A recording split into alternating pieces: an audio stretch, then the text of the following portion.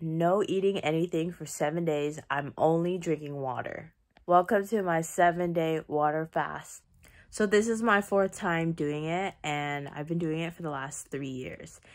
There are a lot of health benefits when it comes to fasting, like autophagy, getting rid of those toxins out of your body, and um, allowing your body a break from just like eating and constantly like breaking down food for you.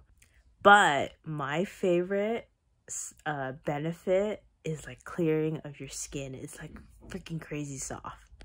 The first time I ever did it, I did it for five days and it seemed super impossible.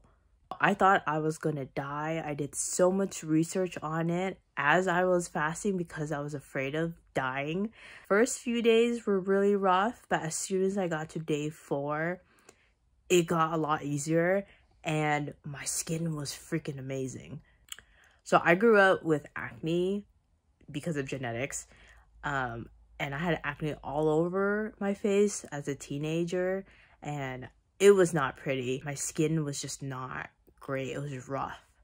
But as soon as I got to day four of fasting, when I woke up that morning, I went to go wash my face and my skin felt incredibly soft. It was so smooth and soft. I couldn't believe it. Like I was feeling my face and it was just like, this is freaking crazy.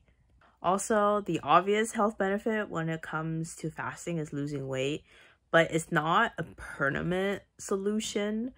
Just FYI, like I share this with my parents and they think it's like what I do just to like lose weight permanently. But no, it's like on it's based on your consistent everyday diet. And I know because I lost a lot of weight like and I kept it off.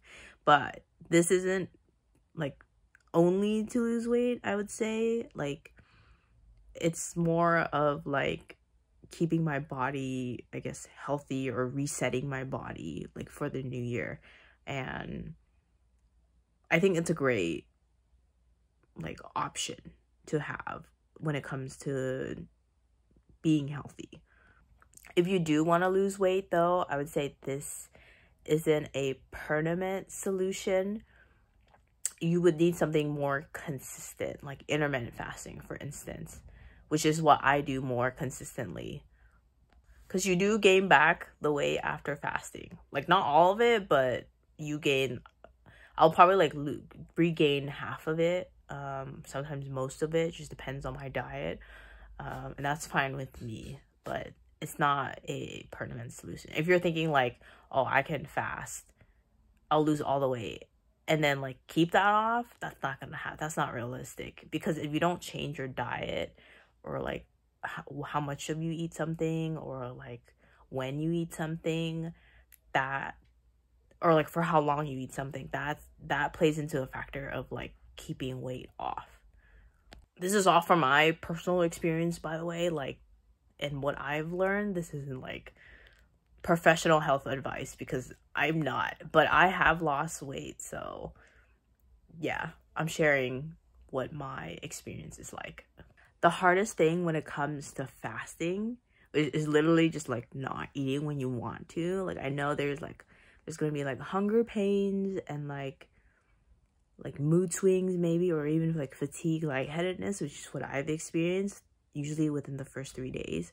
But after that like i felt amazing. Like i felt like like i didn't have an appetite for food and like though that's when autophagy kicks in and like the other health benefits like you'll see the difference and you'll feel the difference honestly i watch mukbangs when i'm fasting because i just can't eat it. I want to eat it and i know it's good.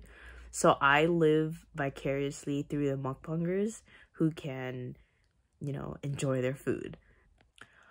Also it's very difficult when you smell food because like that's when your stomach gets growling at least for me. One time i was like on my second to the last day of fasting and i'd gone to the movies you know, thinking it's an activity I can do that doesn't require food. But as soon as I like, or we were watching the movie in the theater, I smelled popcorn and my stomach was like growling. That was literally the hardest. And I had to like push through that. But when it comes to like seeing food and like just watching, I'm totally okay. And like I do salivate, but like it's it's something I can like handle, but smelling is like another story.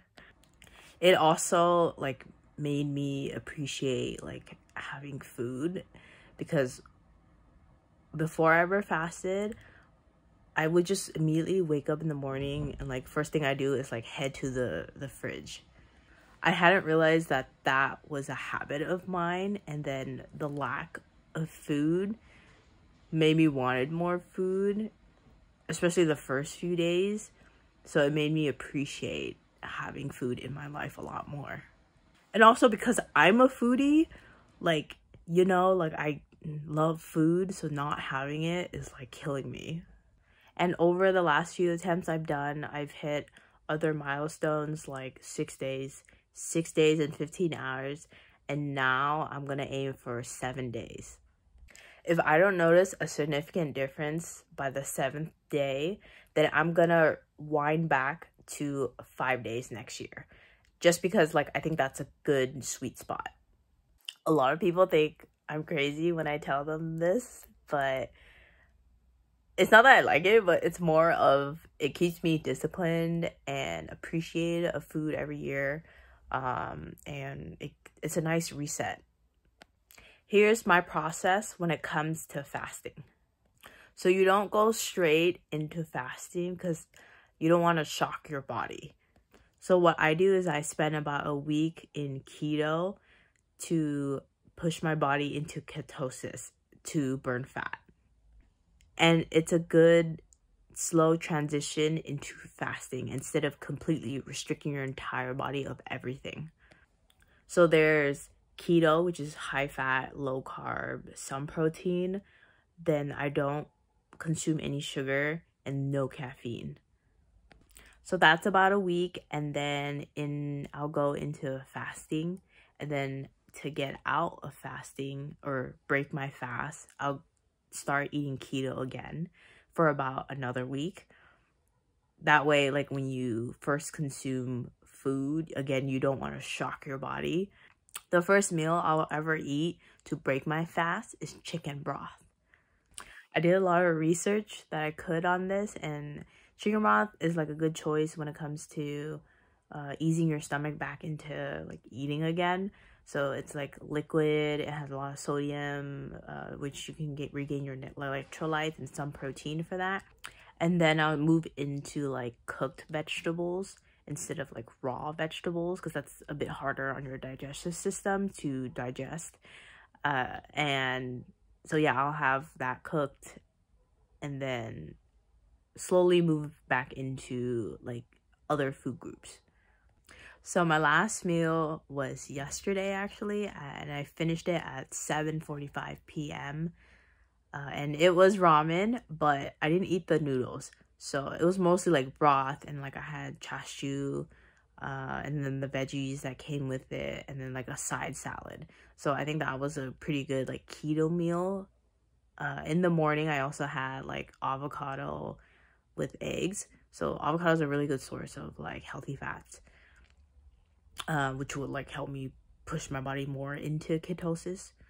Oh, and FYI, when I order the ramen, I order the noodles to be on the side so that I could take them home and then give it to one of my friends. So there's no food waste here.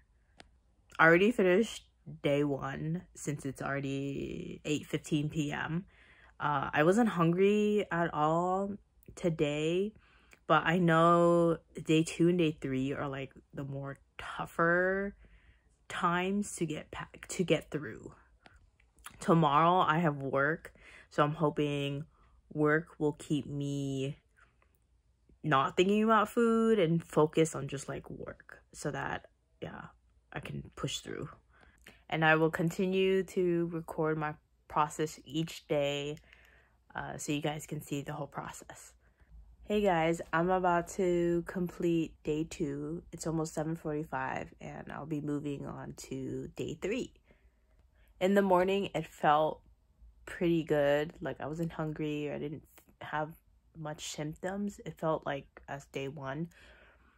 But towards the end of the day, I got a little nauseous and then I had a headache. I don't know if that's like stress from work, but I think that might have contributed contributed to it. Yeah. Parts of me is like, I don't know how I'm going to do this. Like but I've done it before in the past and I know day 2 and day 3 are like the toughest ones to surpass. And it sucks when like you have family members cooking in the kitchen and you can just smell it and I want it, but I can't. And I had to go to the kitchen and grab some scissors. And my mom was like cooking something. I had to hold in my breath because I just I just didn't want to be tempted. I really don't want to like break my fast. I think what really helped me not think about food so much it was working a lot. Well, I'm actually working a lot more than usual. So that really I was really focused and that just made me not think about food so much. So it's the end of day 3 and the only thing is that I feel maybe a bit lightheaded, but I don't know if that's from like stress from work or maybe I'm just not drinking enough water for this fast.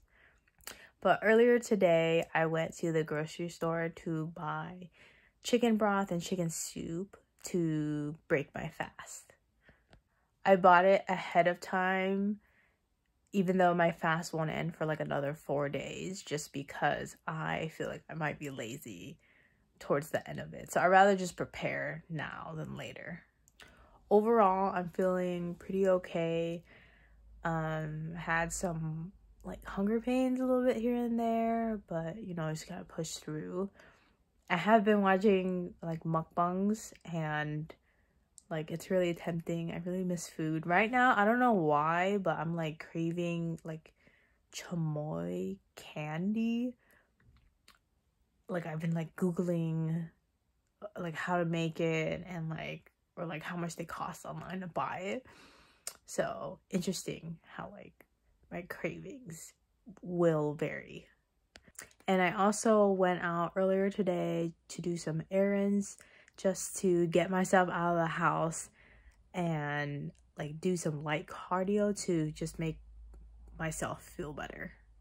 But yeah, that's the end of day three and now I am on day four.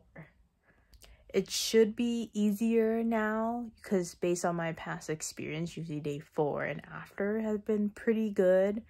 Like I have no appetite for food. Uh, I'm not like tempted or anything like that.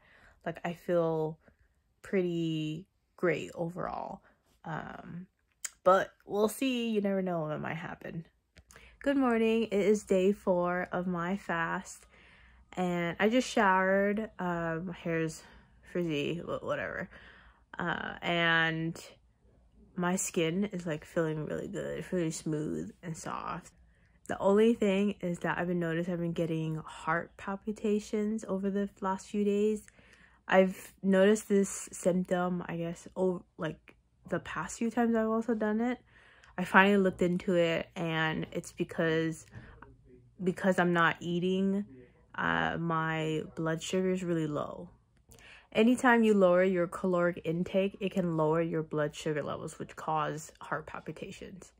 I also read that it's a hormonal response to your body metabolizing your en energy reserves, which is like the fat in your body. And it increases your metabolic activity to maintain those glucose levels. I also read that taking vitamin B12 can counteract the heart palpitations. So I've been taking these vitamin B complex supplements and it, com it comes with vitamin C as well. And then I've also been taking these electrolyte capsules. These are sugar-free and great to uh, replenish your body of electrolytes, which is lacking when you are fasting or when you're just like not drinking enough water, like you're de dehydrated. I am drinking water though. I'm trying to drink as much water as I can so that I don't get dehydrated. But this also comes with vitamin D in the back, uh, which is also a supplement that you may need because all these supplement recommendations have been by Dr. Eric Berg, who I follow on YouTube about uh, prolonged fasting. I was doing so much research about fasting, especially the first time I did it. Um, and I finally decided to take vitamins this time. So maybe that's why I'm not feeling like super intense hunger pains as I did have in the past. And my symptoms are a lot lighter than they have been in the past. Um, but I think this fasting round has been a lot better than it has been in the past I've done it. So I'm definitely going to continue taking my vitamins in my future fastings as well because these have been great and the symptoms aren't as severe as they have been in the past I've done it. Okay, let's talk about my weight and how it has fallen over the course of this fasting period. So, as I mentioned previously, I start with keto first so that I don't shock my body going into the fast. So that started on January 8th, and at that point, I was 130.7 pounds. I would say I was bloated then. Usually, I weigh around probably 127 pounds. So I think that three pound difference is water weight from just bloating of like eating so many carbs because the night before I had eaten a shit ton of carbs probably because I knew I was going on a fast and I just was on vacation with my friends. So the day before my fast, I had so much carbs. Let's see, I ate for breakfast, I ate like a, a cheese roll. For lunch, I had like mee goreng. And then for dinner, I had some like rice noodles at home. Like my body would just wanted carbs, probably because I was like hungover. So yeah, that's why I was super bloated and weighed more than I normally am the day I started my fast, which was 130.7 pounds. And then the next day I finally debloated at 128.1 pounds. And then at the end of my keto, which was January 14th, I weighed 124.1 pounds. So during my keto period, I lost about three to four pounds considering I don't know what my average weight is without being bloated. So if, it, if we're taking it from 128, then I would lose four pounds. But I would say normally I'm 127. Uh, and that would be about three pounds during keto. And then the next day for my first day of fasting, I was 125.1 pounds. So about a pound up from the day before because I was bloated from so much sodium. I had ramen the night before, minus the noodles. So day one of fasting, I was 125.1 pounds, and now I just weighed myself this morning. I am 119.9 pounds. So if you do the math, it's 5.2 pounds, but realistically, because I was bloated, the my first day, I would take it from the 124.1 pounds so that would be 4.2 pounds realistically. So from my first day of keto to where I am right now at day four of fasting, I lost 10.8 pounds if you're thinking just purely math. But I think more realistically, considering like the context of like me being bloated and everything, I think I lost roughly around 8.2 pounds. I can't stop touching my face because it's so soft and so smooth. But it's like not a like giant difference compared to when I first did it because when I first did it, it was a, such a drastic change. Like even my manager at the time, or well, she's still my manager, but at, when we met in person for the first time, she said my complexion was amazing. Like it's crazy how much like junk or or just toxins are in our food and it can affect our like body so much. Like I was freaking glowing, man. But it's, still nice to have soft skin. I really like it. my parents think I'm crazy for doing this, but I've done it in the past. Now they've gotten, I guess, used to it. But the first time I did it, I was fasting for five days and they thought like I was gonna die. My dad was worried, like, he said you should just eat something just like a little bit so like you don't die but i'm i know i wasn't gonna die and i've done a ton of research on this stuff but I went outside into the living room. My mom's uh, not working today. She asked me like, how long am I fasting for? Five or six days because that's how much I did in the past. I told her seven. And then she was like, oh my God, is that even healthy? I'm like, yeah, it's totally fine. But I don't think they like, they they really believe me. You know, I know like monks can fast for like maybe 100 days and other religions will fast. I should just like help reference Jesus because they're Catholic and be like, Jesus fasted for 42 days. So, like, I should be fine. you know, it made me think about like how in this lifetime people are always going to call you crazy or like whatever. You know, I don't want that to stop me from doing what I want and how I want to live my life. So, I'm just going to ignore it they call you crazy or insane or whatever just because that's their projection on you. They probably don't think they can do it themselves or that it's out of the norm for them. Like, but what is norm, you know? Or what's normal? I say live life how you want because you only live once and just do it the way that you want. Don't let other people stop you. It is day five and my skin is like super soft and smooth right now. So usually during my fasting period, I'll usually lock myself in my room just to avoid like temptation of going to the kitchen and like smelling all the food and seeing it and I'll avoid going outside also to avoid getting tempted by food, especially socialize socializing with my friends like that's usually around food as well.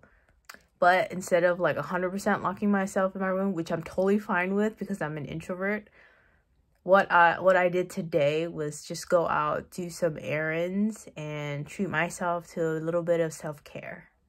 So after my errands, I got my eyebrows threaded, and then I went to go get a much needed massage because I've been so stressed with work and I tense up because of it.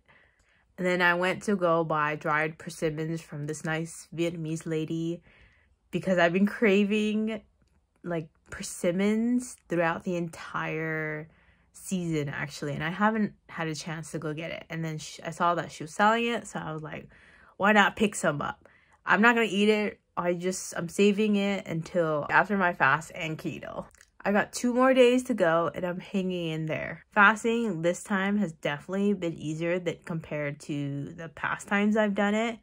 And I think that's because I started out with a healthy keto. The year before I did dirty keto and that was horrible because I threw up. And then the first time that I ever did it, I had a cookie the day before my fast and I just ended up with a lot of headaches. Um, and that was not pretty. So because I did the healthy keto, I've noticed I didn't throw up. I wasn't as nauseous as I have been in the past. Um, I didn't get headaches like at all. I'm just more like fatigue and like the hunger pains have like definitely reduced and not as intense as in the past. So definitely not bad at all. It's been pretty or relatively pretty easy. I mean, it's still hard overall and I've definitely been hungry. I've been watching like mukbangs like every single day, every single hour just because I want to live vicariously through them. Oh, and after my massage, they offer these fortune cookies and I couldn't say no even though I'm fasting but I just couldn't say no because they're free. So I'm going to eat this after my fast and keto. So I will save this.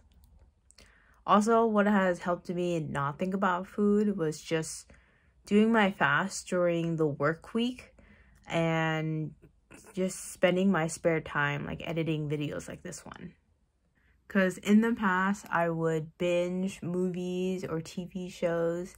And I think I noticed I have the habit of associating food with TV or movie shows. Like, just because, like, you, for instance, you go to the movies and, like, you're always, like, snacking on stuff while you're watching. Or, like, I've always, like, ate food while watching shows or movies. So, yeah definitely working or doing other things can definitely help distract your mind from thinking about food.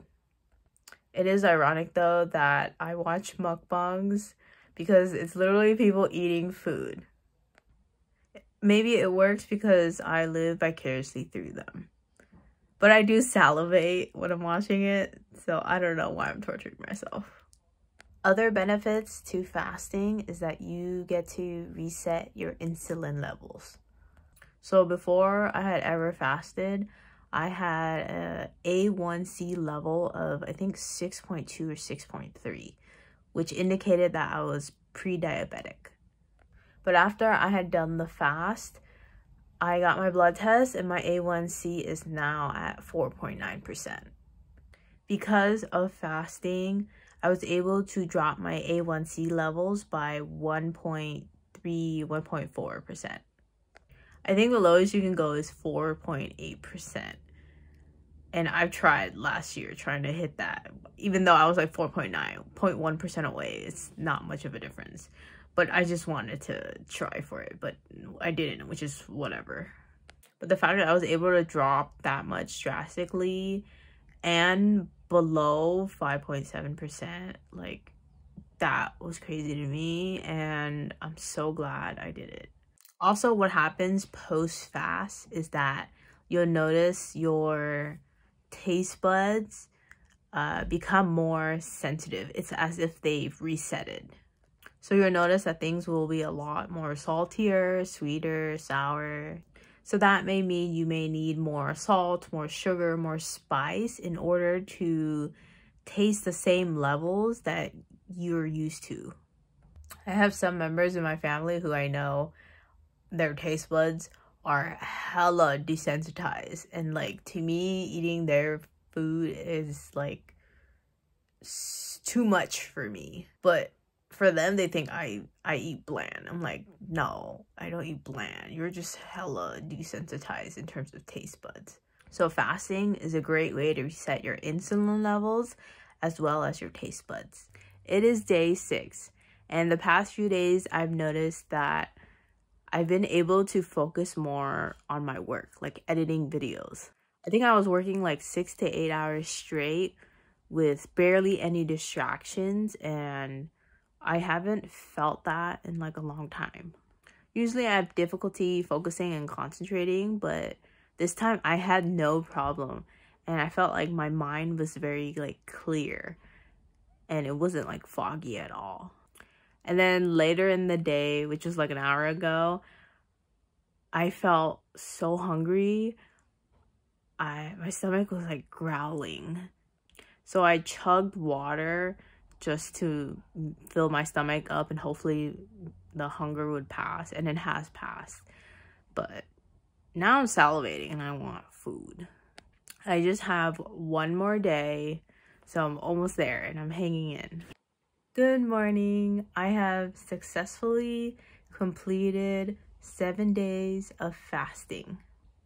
I completed a full seven days as of yesterday at 7.45 p.m. on January 21st. So today is technically the eighth day because I'm breaking my fast in, let's see, about three hours. So I decided to push it to this afternoon because I wasn't where I wanted to be in terms of my weight. I had plateau from Sunday to Saturday. I was about 118 point, I think, 6 so, and I was expecting to be at like 117, but because it plateaued, I was like, okay, maybe I can push it like one extra day or at least overnight. Also, I realized that if I break my fast in the evening, I'd just be opening the floodgates to like my hunger and I would just be probably hungry throughout the night and that would mess with my sleep. So I didn't want that happening. I just weighed myself and I am at 116.6 pounds. I think I might have plateaued yesterday just because I had chugged water and I had taken my vitamins. So maybe that might have caused my weight to go up, like water weight a little bit. But I'm glad that I am at 116 because that was a surprise for me. I was expecting to be at 117. I'm going to break my fast at noon, which would make it seven full days, 16 hours, and 15 minutes of my water fast. And that is a whole new record. And I'm so proud of myself. Every time I do this, I think it's like impossible and just crazy in my head that I can do it, but it's all taking it day by day. So this time around, I aimed for seven full days of my water fast because I wanted to see if there was any significant difference between five and seven days. And my conclusion is there wasn't any difference. So next year when I do this again, I'm just going to aim for five days. Why do I need to torture myself anymore? So when I first started keto, I was 130.1 pounds. But I think on my first day of keto, I was bloated. So I would say I was probably about 128.1 pounds. And subtract 116.6 pounds, I have lost, I think realistically, 11.4 pounds. In the past, when I mentioned to my friends that I do a water fast. They think I'm crazy and they think it's like for weight loss management. But when I tell them it's not, they think like, what's the point of even doing it then? But to me, it's not about like weight loss management at all. It's, it's about, I mean, like some, a little bit, yes. But as soon as you start eating, you're going to get back the weight anyways. But for me, it's about the health benefits that come with it, which is like autophagy, resetting your insulin levels, which by the way, I have dropped my A1C. Before I had ever lost weight, when I was like 152.1 pounds, I think, I had an A1C of I think 6.2 or 6.3%, which meant I was pre-diabetic. And I think last year when I measured my blood test, I was, or even like right afterwards um, for my checkup, I had dropped it down, I think, by 1.4%. So my A1C has been consistent at 4.9%, which means I'm no longer diabetic. Uh, it's, it's dropped the lowest it can go. Technically, 4.8 is the lowest. I tried doing it. I tried dropping it to that level. Just couldn't. 4.9. But 0.1% isn't much of a difference. Also, I love that my skin feels like so soft and so nice after water fasting. So yeah, water fasting is not a permanent solution to weight loss management. That's in your consistent everyday lifestyle and diet. I reached my goal. It has been seven days, 16 hours and 15 minutes, and now I can finally break my fast. I have chicken broth here, and I'm gonna break my fast with that.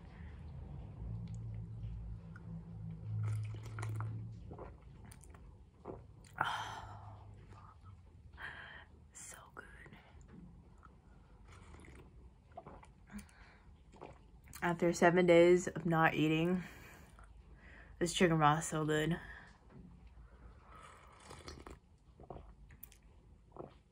Warm, salty, so good. Mmm. Oh yeah, let the floodgates open.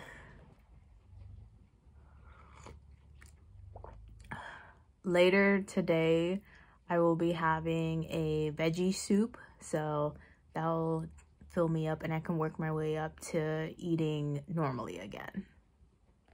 So after a prolonged water fast, you want to break your fast with some chicken broth, something easy on your stomach. And then you want to move into veggies, which, well, boiled veggies, so that it's easier on your digestive system and then slowly start incorporating the other food groups back into your normal diet. I would leave carbs last since we're still doing keto.